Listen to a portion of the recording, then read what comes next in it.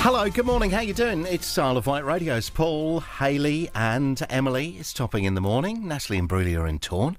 Seven minutes past seven. And um, yesterday on the show, uh, we spoke about it only happens a few times uh, a year. Sometimes less than a few. Sometimes it doesn't happen at all. What are we talking about? Supermoons. Just a Super moon. Okay, so we Haley, all- you were very excited about it. I weren't was, you? yeah. It's 14,000 uh, miles closer to Earth, which means it's going to be brighter and bigger than we've ever seen, ever. and how did it look last night? Well, looking at the pictures on Google, it looks really But let's just say, I mean, I go to bed early. It's still quite light, isn't it? I was going to say. I didn't see it either. No. Wait, I'm just looking at Google. I mean, it looked incredible over the Taj Mahal. Is, is that is that the curry house in Shanghai? yeah.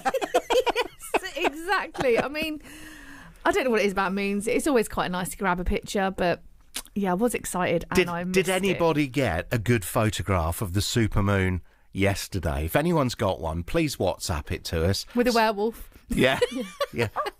Or, as or, a silhouette? or a boy cycling with with, With a some small alien in his basket. exactly exactly. Yeah. Uh, so supermoon, we didn't really bother la- yesterday, did we? No. No, but if you no. did, I feel bad. I would love to see it. 01983 822 002. How are we all feeling this morning? Wonderful. Yeah, all good. Good. Tuesday's always better than Monday, I feel. That is a great way to look at it. Yes. Mm-hmm.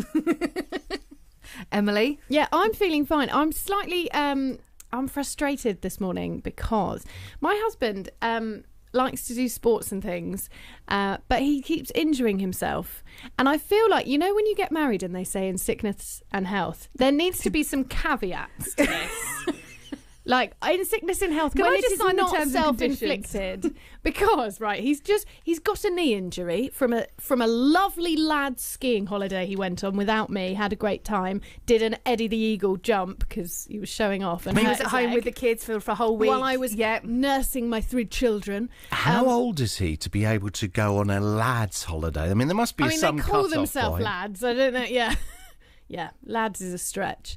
Um, and so he's recovering from that injury. And then last night, I was like, I'm going to football tonight. all, all proud. So hold my on a knee's minute. all right. He, he's recovering from a skiing injury, Yeah. and then he he's now- goes to play football. Uh, Yeah, well, this is it's the first time he's played football for a few months, so it's very excited. He's like, "Oh, I'm allowed to do it. I'm going to go and play football. Do you know what? And then he if I had that injury, I would use, I would dine out on that. You- Oh, You'd he be milking it. dining out. No, but I would be saying there's no way I can take part in anything physical for probably another couple of years. Yeah, but that's your character. Yeah, Rob No, likes sport, does he He's not? he has he's all the clubs. He's a part of all the clubs, all the football, all the cricket. Oh. Luckily, he hasn't discovered golf yet. And then so he comes back from football last night, and he's sat on the sofa like, looking a bit sheepish. I'm like, what have you got in your hand? It's like, oh, a little ice pack, and he's hurt his little finger. And the thing is, he like he wants sympathy, and I I am no nurse. I don't have bedside manner. Even when it, you know, someone is genuinely ill, but when it's self-inflicted from Yeah. a sporting injury, I don't think that counts. I mean, I think I've known you longer than you've known your husband, and I would first thing I'd have said if you'd have asked me for the advice on sympathy, I'd say the well runs dry with Emily. uh, the the tank is empty on the sympathy. I'm a go to school, see how you feel kind of mum. Let's just say that. exactly, and wife.